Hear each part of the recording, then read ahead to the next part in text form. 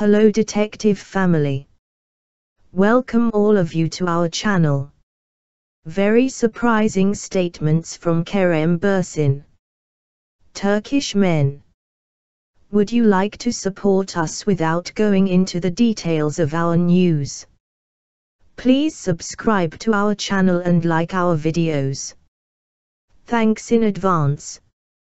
Kerem Bürsin, who came to the agenda of the magazine last week with the statement there are toxic men in the industry, they are still working, was caught in the lenses in Nişantaşı, where he came to get skincare.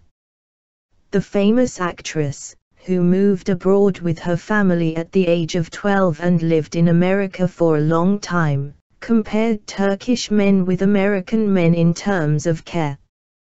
Bürsin, who was asked her thoughts on the debut of Farah Zeynep Abdullah on social media, they choose female actors as if they choose tomatoes next to men said, I think Farah said it right, but this is not just a problem in our industry and in our country.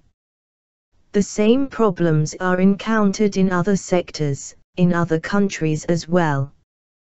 This is not pleasant. I don't want to criticize anyone, but there are toxic men in our market, they still work. We have to give importance to such things he said. Kerem Bürsin was last seen at a health center in Nişantaşı, where he came to get skin care. He said that he had skin care done several times a year without interruption. Do you agree with Kerem's words? How would you like to share your comments with us? For the latest news about Kerem Bürsin, please don't forget to subscribe to our channel and like our videos. Take care of yourself. Stay happy always.